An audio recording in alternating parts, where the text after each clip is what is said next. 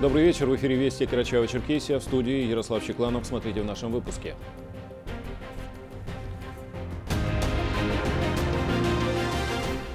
Стратегия развития строительной отрасли и ЖКХ обсуждалась в Москве. В совещании принял участие глава Карачаева-Черкесии Рашид Тимрезов. Насколько энергетический комплекс готов к осенне-зимнему периоду, об этом на брифинге рассказал директор филиала Россети Северный Кавказ Карачаево-Черкесэнерго. Только коллективный иммунитет поможет стабилизировать ситуацию с COVID-19, уверены представители законодательной и исполнительной власти и ревакцинировались. Полицейские Карачаево-Черкесия пресекли деятельность распространителей запрещенных веществ на наркоторговцы, заключенных под стражу.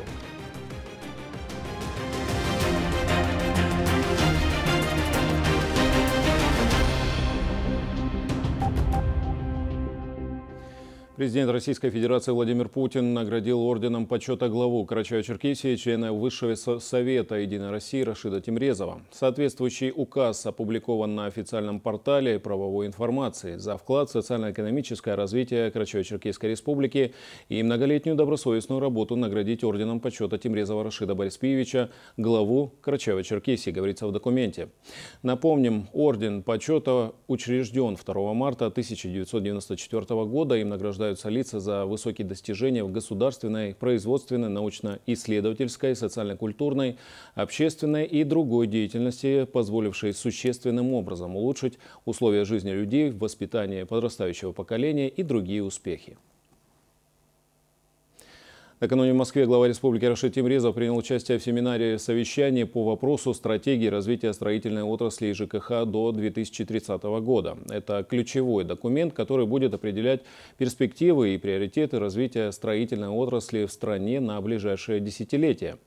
Основная задача – это формирование высокотехнологичных конкурентоспособных отраслей строительства и ЖКХ для создания максимально комфорта россиян и повышения уровня их жизни – в частности, на повестке были вопросы модернизации коммунальной инфраструктуры, повышения энергоэффективности жилищного фонда, устойчивое сокращение непригодного для проживания жилья, создание комфортной городской среды, обеспечение сбалансированного пространственного развития. Обсуждались вопросы создания единой опорной транспортной сети, развития общественного транспорта и парковочных пространств. В формате круглых столов участники семинара обсудили ключевые элементы стратегии, обменялись опытом, внесли свои комментарии и предложения к стратегии, которые будут использоваться при ее доработке. Черкесский прошел брифинг директора филиала Россети Северный Кавказ Карачаево-Черкесск Энерго Александра Хлысенко. Представителям СМИ он рассказал о том, насколько готов энергетический комплекс к осенне-зимнему периоду, о том, какие работы были выполнены, узнавал Александр Шоков. На сегодняшний день основной объем работы по подготовке энергетического комплекса республики к осенне-зимнему периоду выполнен в срок. В ходе брифинга руководитель филиала Россети Северный Кавказ Карачаево-Черкесск Энерго Александр Лысенко отметил, что ведомством приказа Министерства энергетики России был получен паспорт готовности к осенне-зимнему периоду за 2021-2022 год. У нас большое количество тоже протяженности линий, там э, количество подстанций, вот, если взять по только одних э, ну, класса низшего берем, это 10 и ниже, около 5000 километров. То есть это необходимо также провести практически всем осмотр, провести техническое обслуживание. Вот, подстанции 62, это большие, тоже необходимо им все провести капремонт и обслуживание. Вот. И, соответственно, подстанция 1004, это которая находится у потребителя, уже посредственно к потребителю, понижающие до Э, величины э, ну, 220, как мы принято называть. Вот, то есть э, ну, в целом мы уже готовы. В этом году обновлено почти 111 километров линий электропередач. Были заменены изоляторы, проведена выправка опор и притяжка провода. Также Александр Лысенко подчеркнул, что специалисты провели большой объем ремонтных работ на энергообъектах курортов Карачаева-Черкесии. Мы собственными силами Дополнительно построили э, и ввели в эксплуатацию две кабельных линии, они новые. Э, там была сложность перехода через реку, но мы это через Аманаус, там около 100 метров переход, мы это сделали. Вот сейчас у нас еще дополнительное мероприятие разрабатывается и заканчивается. Там еще одну хотим линию построить воздушную на, ну, она сейчас пока как резерв это еще увеличивать мощность, вернее увеличивать надежность под Донбая в целом. Также в Архизе в рамках инвестиционной программы филиала построено и реконструировано почти 5 километров распределительных сетей и смонтированы две новые трансформаторные подстанции. В свою очередь, первый заместитель министра промышленности, энергетики и транспорта Карачаева-Черкесии Рустам Эркенов дал положительную оценку проведенной работе ведомства. Безусловно, у нас этот год не стал исключением из правил. У нас э, Карачаевский филиал Россетей традиционно очень с хорошим показателем входит в ОЗП, потому что работы начинают заранее, все прагматично, спланировано и строго по плану. Соответственно, доказательством того является своевременное получение паспорта готовности, который говорит о том, что структура э, она готова к прохождению ТОЗТ без э, каких-либо там вопросов, скажем так. А в части именно э, работы э, филиала, безусловно, мы совместно работаем. Э, филиал всегда очень отзывчиво смотрит на наши пожелания, в том числе там, по обеспечению энергетической безопасности. В случае введения режима повышенной готовности и особого режима работы в республиканском филиале Россети Северный Кавказ постоянной готовности находится 18 оперативно-выездных и мобильных бригад в составе 56 специалистов. Олег Лепшоков, Ислам Урумов, Вести, Карачаева-Черкесия. Сейчас время прогноза погоды, а после мы продолжим выпуск.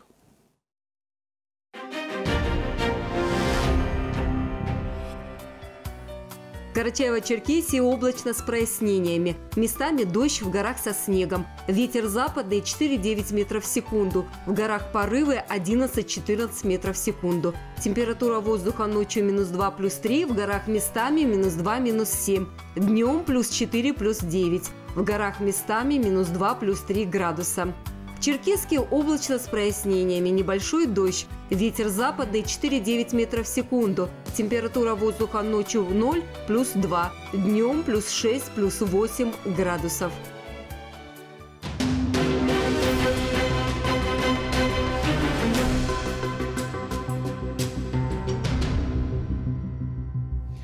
Продолжаем выпуск. Сегодня в городской поликлинике Черкеска прошли ревакцинацию от коронавирусной инфекции представители власти Карачаева-Черкесии.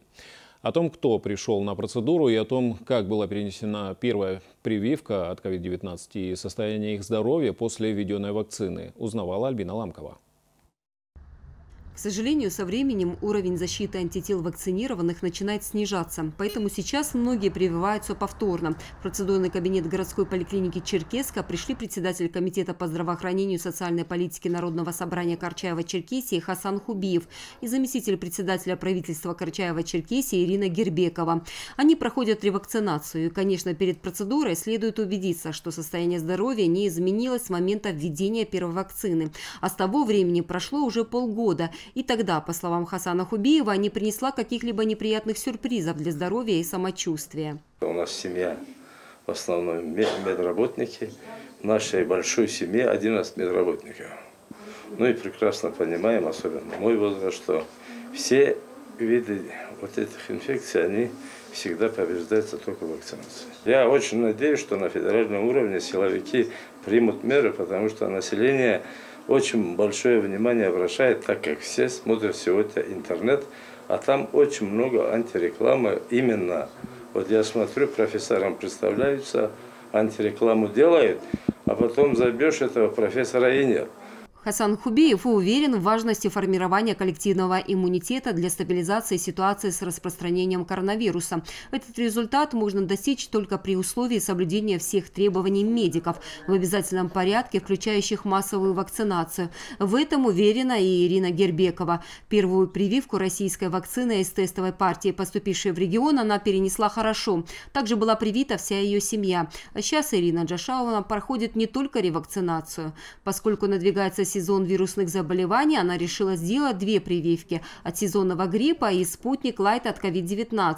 Она, как никто другой, знает, как коварен коронавирус. Несмотря на то, что вот в республиканской больнице мы госпиталь открывали оснащенные абсолютно всем, даже э, возможностью проведения ЭКМО, это когда полностью легкие отказывают в работе, но пациентов, к сожалению, не удается спасать в некоторых ситуациях. Поэтому мы призываем так активно к вакцинации, потому что это все-таки шанс на то, что заболевание будет проходить легче. Ирина Джашауна прокомментировала, как обстоят дела и с лекарственными препаратами в республике, в частности о высокой цене Актемры одна из целей вакцинации потом не входить в такие затраты и в такие сложности с препаратами. Дело в том, что Актембр не единственный препарат, который применяется при э, коронавирусной инфекции, и применяется целый ряд других аналогов, которыми мы оснащены, их оснащ... ими оснащает Федерация, они распределяются по регионам.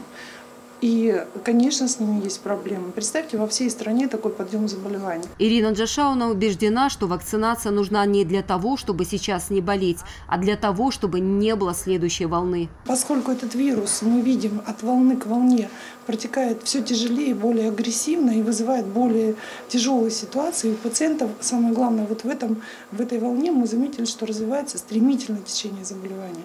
Поэтому мы хотим предотвратить наступление следующей, следующей волны пандемии. Альбина Ламкова, Расул Бердиев, Вести, Карачаево-Черкесия. Сегодня в Карачаево-Черкесии выявлено 87 новых случаев заражения коронавирусной инфекцией. С начала пандемии общее количество заболевших в республике составило 29 164 человека. Из них 25 253 выздоровели, 737 человек госпитализированы. Следственным управлением МВД по Карачаево-Черкесии возбуждено уголовное дело в отношении трех жителей разных регионов России и двух иностранных граждан. По версии следствия, подозреваемые действия в составе преступного сообщества в период с августа 2020 года по февраль 2021 года занимались незаконным оборотом наркотических средств дистанционным способом с использованием сети интернет. Деятельность распространителей запрещенных веществ пересечена оперативниками регионального МВД в феврале 2021 года при осуществлении подозреваемыми закладок в Черкеске. При обысках по местам жительства обвиняемых и в тайниках-закладках сотрудники полиции обнаружили более 600 граммов героина, предназначенного для сбыта. Также изъяты упаковочные материалы и электронные весы. В отношении всех фигурантов уголовного дела избрана мера пресечения в виде заключения под стражу. В настоящее время продолжается работа по установлению иных лиц, причастных Эм, причастны к участию в организованном преступном сообществе. Ходе проведения оперативно-розыскных мероприятий по установлению лиц, причастных к незаконному обороту наркотических средств, сотрудниками Управления по контролю за оборотом наркотиков задержаны две организованные преступные группы, которые осуществляли преступную деятельность на территории города Черкеска путем установления закладок наркотического средства героин. Было установлено, что данные преступные группы действовали под руководством одного лидера, гражданина иностранного государства. При обысках э, по местам жительства обвиняемых а также в тайниках-закладках, сотрудники полиции изъяли наркотики, предназначенные для сбыта. Всего из незаконного оборота изъяли более 600 грамм наркотического средства героин, а также электронные весы и упаковочные материалы.